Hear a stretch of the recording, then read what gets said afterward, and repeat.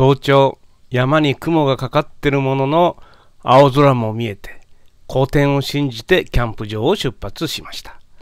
猿倉までの道は後日人力つなぎをしなければなりません。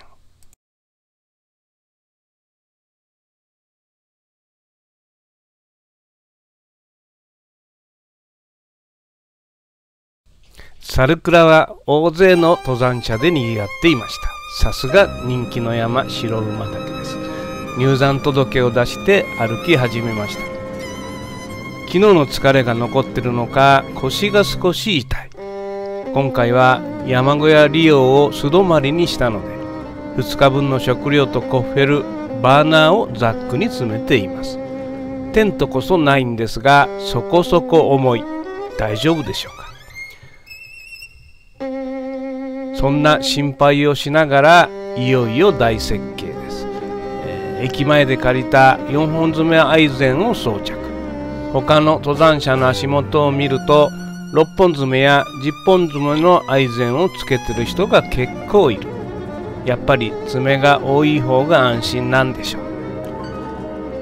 大設計は長大な雪道。踏み跡をしっかり踏みしめながらゆっくり登ります。ゆっくりなんですが周りの人は止まって一休みする人が多くこちらはあまり止まらないので何人か抜きます回りながら新しい発見でした。小設計を超えるとそこは雲上のお花畑でした。さまざまな高山植物が色とりどりに競い合うように咲いています。写真ではねなかなか伝えられない美しさです。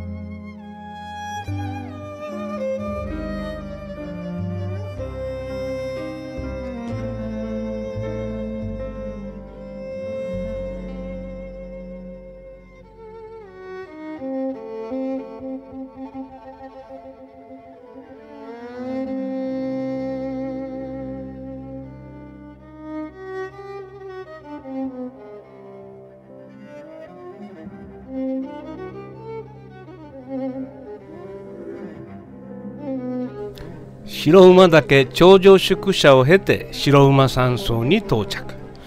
受付を済ませて絡みになって山頂へ向かいました。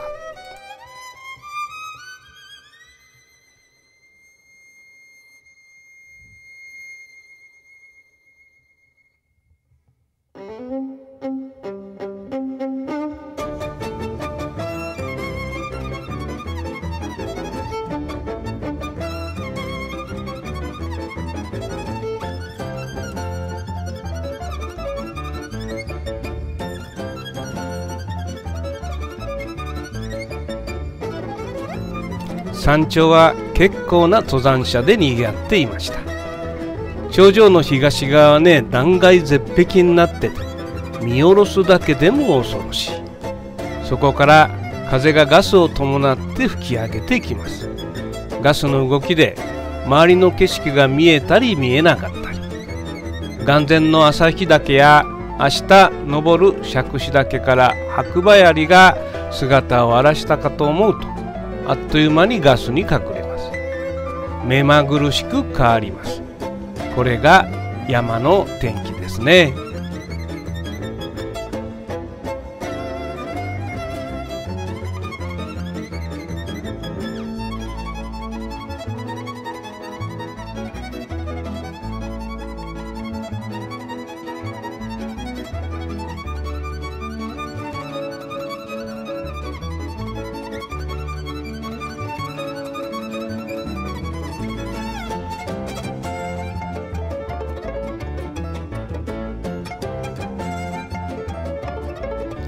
そして夕方ガスが晴れ夕日に映える杓子岳と白馬槍ヶ岳。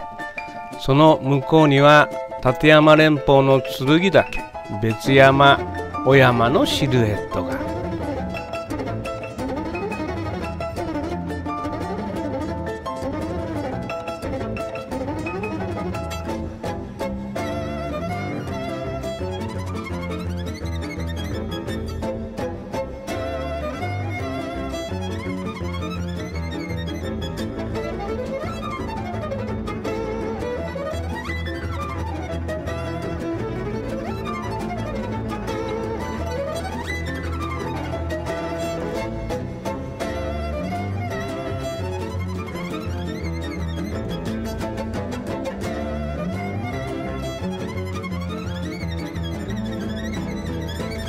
夕日が沈み月が昇りました。